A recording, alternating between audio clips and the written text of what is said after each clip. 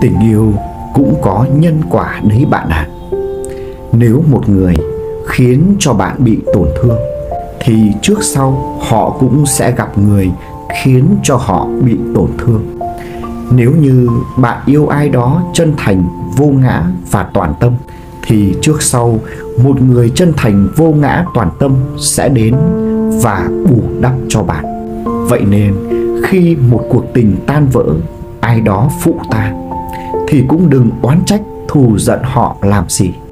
Hãy cứ giữ lại những đức tính tốt đẹp mà bạn từng có.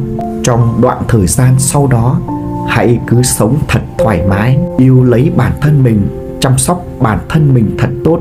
Rồi một ngày, người tốt sẽ đến với bạn. Cuộc sống này rất công bằng, sẽ không phụ ai bao giờ.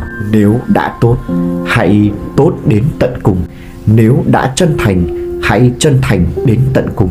Bạn gieo vào cuộc sống này một nhân tốt, chắc chắn quả tốt sẽ xảy ra với bạn. Quan trọng, hãy có lòng kiên nhẫn bạn nhé.